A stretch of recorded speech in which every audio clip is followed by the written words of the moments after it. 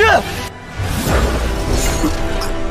老师，老师不能继续陪在你身旁了。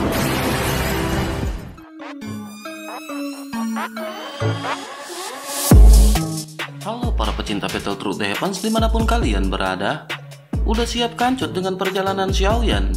Terima kasih untuk kalian yang selalu stay di sini dan udah meramaikan kolom komentar Kuilah nggak usah pakai lama-lama lagi kita kancutkan perjalanan Xiaoyan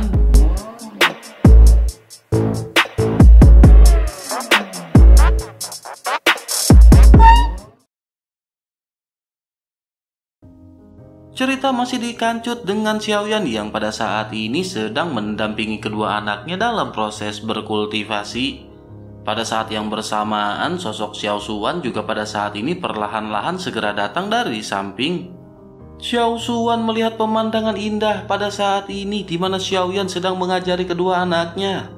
Xiao Suwan pun memuji Xiaoyan karena pada saat ini benar-benar meluangkan waktu untuk anak-anaknya.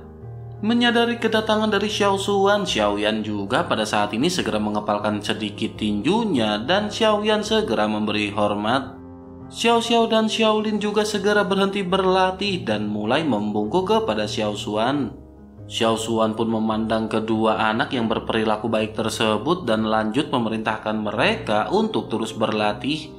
Xiao Suan pada saat ini memiliki sesuatu untuk didiskusikan dengan ayah mereka. Baik Xiao Xiao maupun Xiaolin pada akhirnya mengangguk sambil tersenyum dan mereka segera memutuskan untuk melanjutkan pelatihan masing-masing. Sementara itu Xiaoyan pada saat ini sedikit penasaran dan segera bertanya apakah yang ingin didiskusikan dengan Xiaoyan oleh leluhur. Menanggapi hal tersebut, Xiao Suwan pada saat ini bertindak tampak misterius dan berkata bahwa Xiaoyan akan mengerti begitu ia berjalan bersamanya.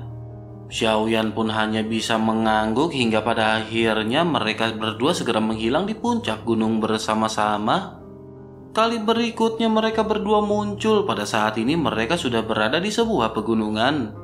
Pegunungan ini adalah tempat di mana Xiaoyan pernah bertempur melawan Hun Tiandi. Keberadaan dari Hun Tiandi yang disegel juga berada di pegunungan ini. Xiaoyan pada saat ini tidak khawatir mengenai Hun Tiandi yang tersegel di sini.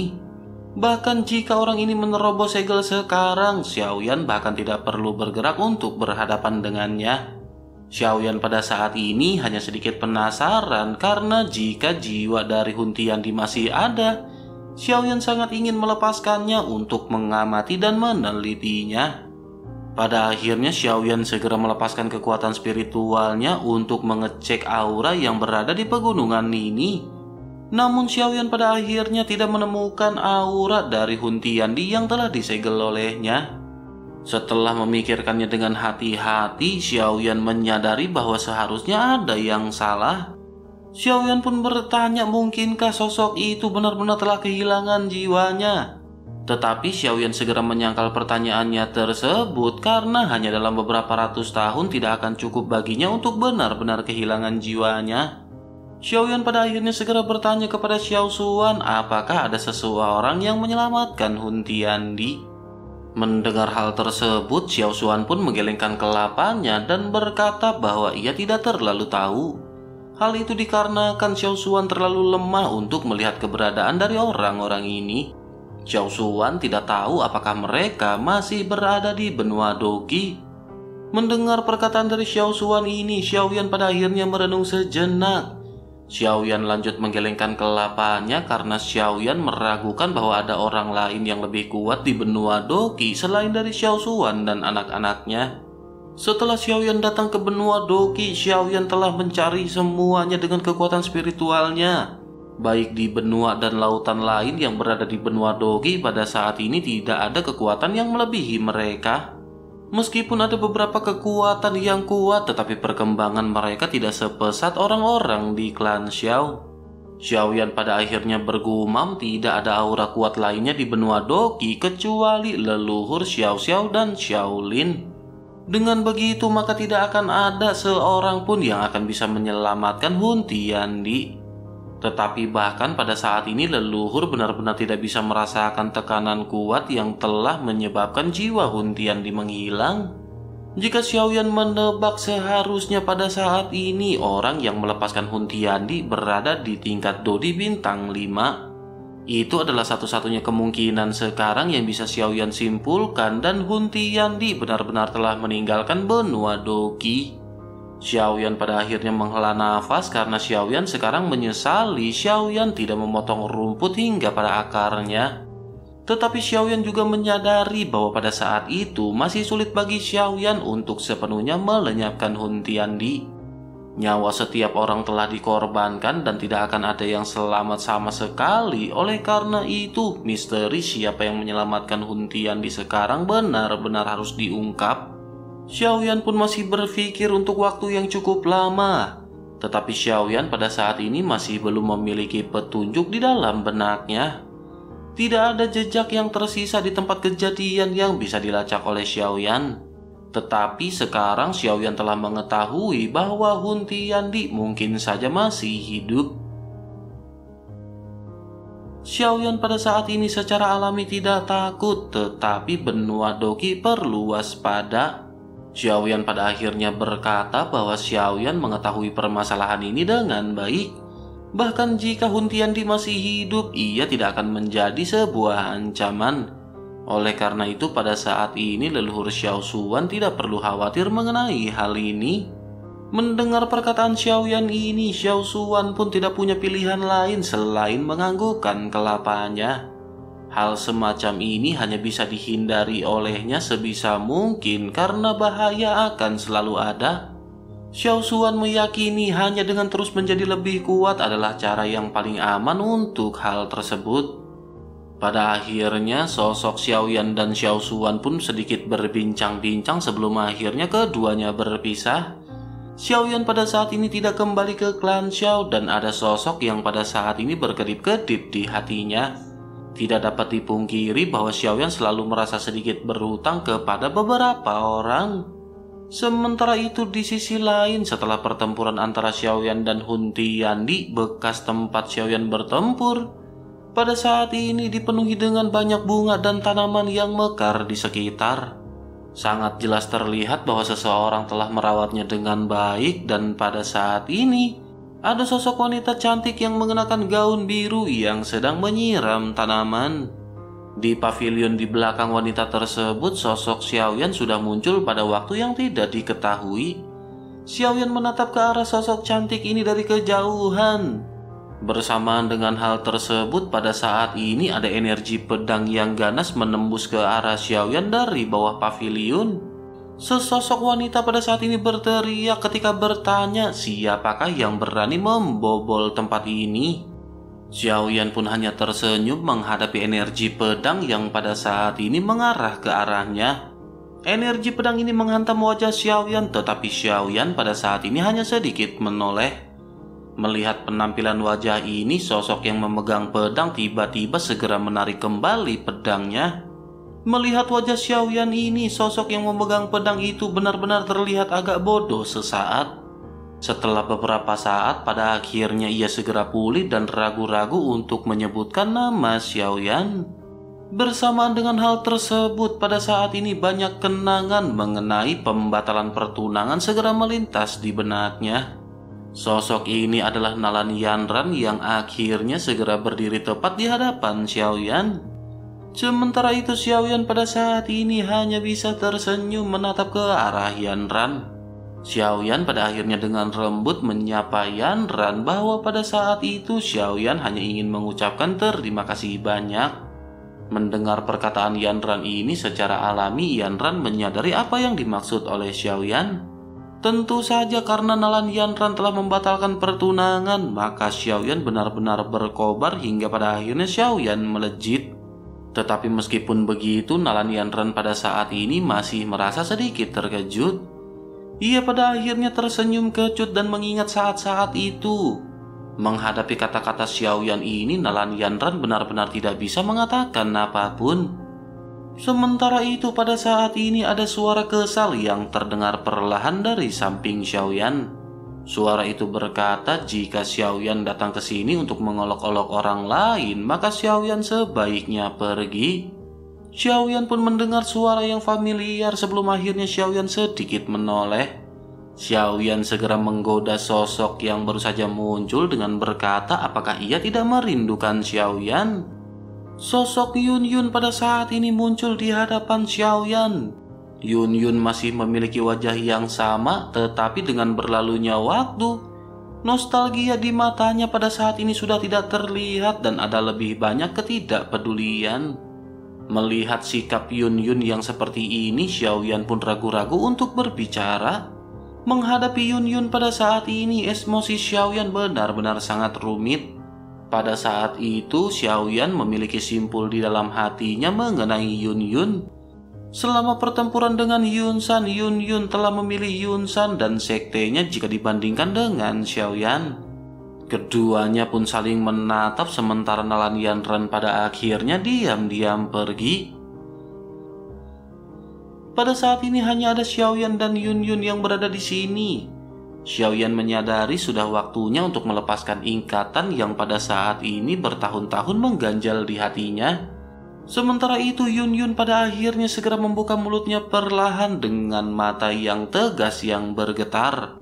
Air mata pada saat ini berkedip di matanya ketika ia berkata bahwa ia tahu ia tidak menyelamatkan Xiaoyan pada hari itu. Ia juga tahu bahwa pada saat itu ia memang ragu untuk membantu Xiaoyan. Ia tidak memilih Xiaoyan karena ia pada saat itu benar-benar masih terikat dengan Misty Cloud. Tetapi pada saat ini Yun Yun benar-benar menyesali apa yang pernah ia lakukan. Setelah selesai berbicara, mata Yun Yun pun seketika bergenang dengan air mata yang hampir tumpah. Nama Xiaoyan ini adalah nama yang tidak bisa dihapus di dalam hatinya. Wajahnya juga tidak pernah bisa dihapus dan telah berputar-putar di hatinya selama ratusan tahun. Yun Yun berusaha keras untuk melupakan Xiaoyan tetapi pada akhirnya malah mengingat Xiaoyan lebih dalam. Mendengar perkataan dari Yun Yun ini, Xiaoyan pun tersenyum pahit dan hatinya merasa tertusuk seribu duri. Gambaran yang tak terhitung jumlahnya pada saat ini membanjiri pikiran Xiaoyan. Xiaoyan merasa seolah-olah semua kenangan yang pernah mereka lewati baru saja terjadi kemarin. Tetapi Xiaoyan segera menekan perasaannya dan berkata bahwa Xiaoyan tidak menyalahkan Yun Yun. Jika Xiaoyan menjadi Yun Yun, Xiaoyan juga akan memilih untuk percaya kepada sektenya sendiri. Oleh karena itu, baik Xiaoyan maupun Yun Yun pada saat itu tidak ada salah satu di antara mereka pun yang berada di pihak yang salah. Yang salah adalah mereka seharusnya tidak bertemu satu sama lain dan pertemuan mereka di pegunungan Warcraft adalah sebuah kesalahan. Mendengar perkataan Xiaoyan ini, mata Yun Yun pun seketika semakin dipenuhi kesedihan. Seolah-olah pada saat ini sosok Yun Yun pada akhirnya terguncang di dalam hatinya. Yun Yun pun segera berkata apakah Xiaoyan juga berpikir bahwa pertemuan mereka hanyalah sebuah kesalahan. Jika Xiaoyan memang menganggapnya seperti itu, maka Xiaoyan pada saat ini harus segera pergi. Mendengar hal tersebut pada saat ini Xiaoyan pun seketika tercengang. Tetapi Xiaoyan menyadari maksud dari Yun Yun hingga pada akhirnya sosok Xiaoyan pun seketika menghilang. Yun Yun pun tiba-tiba mengangkat kelapanya dan segera mengambil dua langkah ke depan. Ia mengulurkan telapak tangannya yang putih dan ramping dan ingin mempertahankan keberadaan Xiaoyan, tetapi Xiaoyan sudah tidak ada lagi di tempatnya. Kelenjar air mata pada akhirnya segera runtuh sepenuhnya dan semua emosi yang terkumpul seketika meledak. Angin sepoi-sepoi bertiup bunga serta tanaman juga pada saat ini seolah-olah mendukung Yun Yun dan menghiburnya. Pada saat ini adegan seolah-olah kembali ke pegunungan Warcraft. Pemuda itu berada di luar jangkauan dan mencoba yang terbaik untuk melindungi Yun Yun. Saat itu Xiaoyan mengerti bahwa Xiaoyan dan Yun Yun ditakdirkan untuk tidak berada di garis paralel yang sama. Nalan Yanran hanya melihat di kejauhan dan pada saat ini tidak pergi untuk menghibur Yun Yun. Sementara itu Xiaoyan pada saat ini berdiri di udara. Dengan kekuatannya tidak ada yang bisa melihat Xiaoyan dan Xiaoyan hanya menatap ke arah Yun Yun. Xiaoyan memiliki tatapan yang kompleks karena Xiaoyan tahu bahwa melakukan hal ini terlalu kejam bagi Yun Yun. Tetapi Xiaoyan juga pada saat ini sadar bahwa Xiaoyan benar-benar harus melakukannya. Bukan karena Xiaoyan memiliki enam istri pada saat ini, tetapi sebagian besar alasannya adalah karena Xiaoyan merasa bahwa Yun Yun tidak akan bahagia dengan Xiaoyan. Sekarang Xiaoyan datang ke sini dan Xiaoyan pada saat ini hanya ingin melihat sosok Yun Yun. Xiaoyan pun menghela nafas perlahan sebelum akhirnya Xiaoyan segera melembaikan lengan bajunya. Seberkas cahaya segera melesat ke dalam pikiran Yun Yun. Gambaran itu berisi ketika Yun Yun terluka parah di pegunungan Warcraft dan seorang bocah laki-laki datang menyelamatkannya. Bocah tersebut menggunakan nama palsu yakni Yao Yan. Yun Yun juga menggunakan nama palsu yakni Yunzi dan cerita pun segera dimulai. Banyak gambaran di antara keduanya yang pada saat ini kembali terulang di benak mereka berdua. Tanpa sadar Yun Yun pada saat ini berbicara perlahan, anggap saja tidak ada yang terjadi di antara mereka. Kenangan yang melintas di benak mereka berdua pada saat ini benar-benar seperti air pasang yang melonjak. Ingatan itu berkumpul menjadi kelompok cahaya yang masing-masing terbang keluar di antara alis Yun Yun dan Xiaoyan. Pada akhirnya seberkas cahaya ingatan ini segera jatuh ke telapak tangan Xiaoyan dan Xiaoyan pada saat ini segera bergumam bahwa semuanya sudah berakhir. Xiaoyan pun lanjut menghela nafas dan menatap ke arah Yun Yun yang menangis begitu keras. Xiaoyan tahu bahwa jika ini terus berlanjut, Yun Yun akan tetap hidup di masa lalunya. Begitu juga dengan Xiaoyan yang akan selalu terjebak dengan pemikiran mengenai Yun Yun dan mereka benar-benar tidak akan bisa keluar. Dengan begitu simpul di hati masing-masing juga tidak akan pernah terlepas dari benak masing-masing. Pada saat ini apa yang dipegang oleh Xiaoyan adalah ingatan milik Xiaoyan dan Yun Yun dan selama itu dihancurkan, ingatan mereka satu sama lain benar-benar akan hilang sama sekali. Dengan begitu, mereka benar-benar akan menjadi orang asing yang tidak memiliki sebuah kenangan. Pada akhirnya, telapak tangan Xiaoyan pun perlahan menutup bersama dengan hati yang pada saat ini merasa terpelintir. Bocah laki-laki itu jatuh cinta pada awal ketidaktahuan, tetapi Xiaoyan menyadari bahwa perpisahan ini adalah sebuah keabadian yang Xiaoyan fahami. Pada akhirnya, tepat ketika Xiaoyan mengambil keputusan, Yun Yun segera mengangkat wajahnya yang cantik dengan mata yang berlinang. Yun Yun pada saat ini tidak tahu apakah Xiaoyan masih berada di sana atau tidak. Tetapi intuisinya sebagai seorang wanita mengatakan bahwa Xiaoyan pada saat ini masih memperhatikannya. Yun Yun pada akhirnya meneriakkan nama Xiaoyan dan berkata bahwa ia tidak ingin melupakan nama Xiaoyan. Oleh karena itu, pada saat ini izinkan ia untuk mengingat semua kenangan tersebut. Begitu kata-kata ini keluar, telapak tangan Xiaoyan yang terlipat pun seketika berhenti. Xiaoyan memandangi wanita itu dengan semua emosi yang meledak yang pada saat ini berada di dalam hatinya. Sosok Xiaoyan tiba-tiba menghilang di udara dan tubuh Yun Yun pada saat ini seketika dipeluk oleh kekuatan besar. Pinggang yang ramping dikelilingi oleh lengan dan ada semburan kelembutan yang pada saat ini menempel di bibir Yun Yun. Yun Yun pun merasakan hal tersebut dan Yun Yun berjuang untuk melepaskan diri.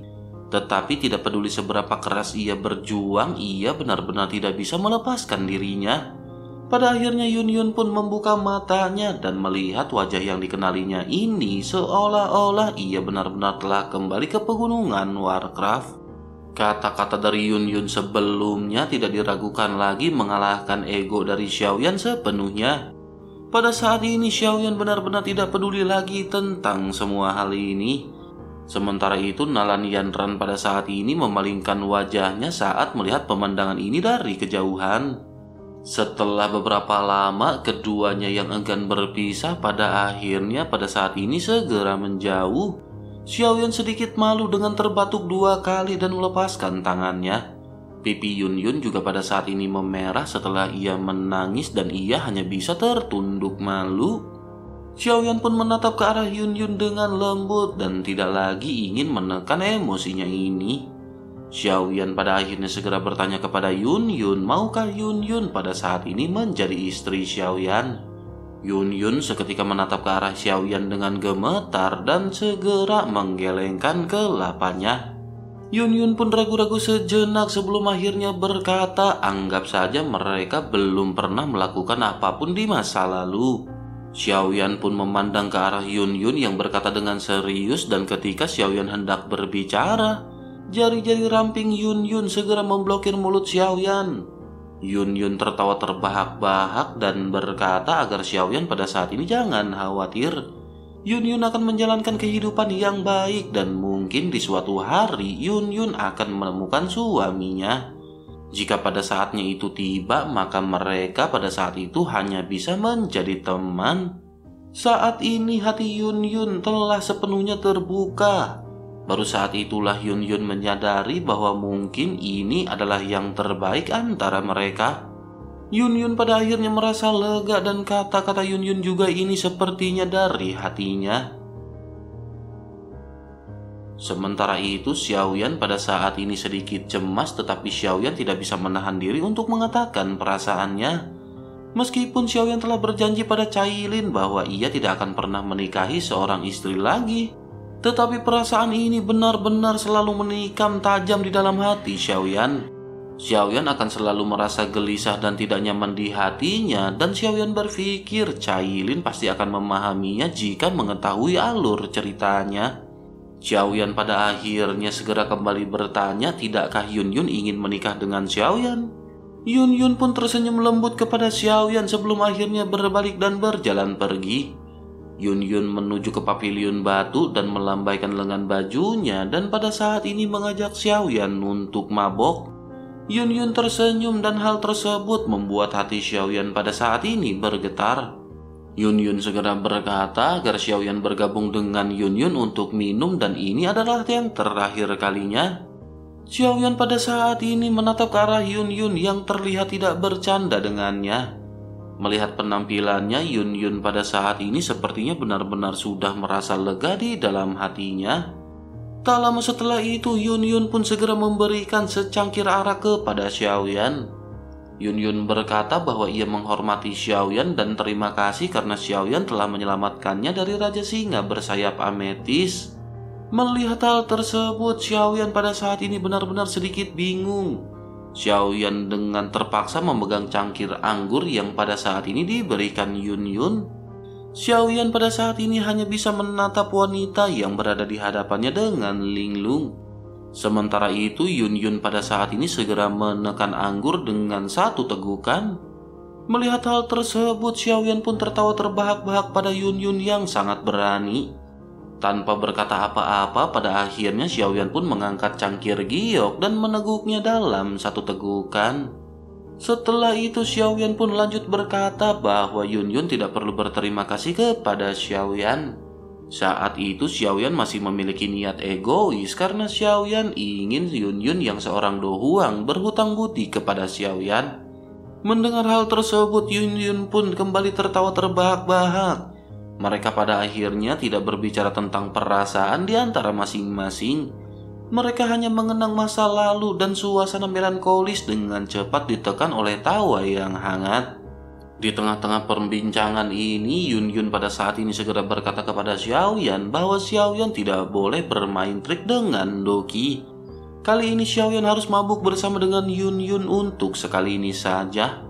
Xiaoyan pada saat ini hanya bisa mengangguk dan merasakan bahwa tingkat pembuatan anggur dari bunga ini sangat tinggi. Mata Yun Yun sudah mabuk begitu juga dengan Xiaoyan dan keduanya pada saat ini sedikit pusing.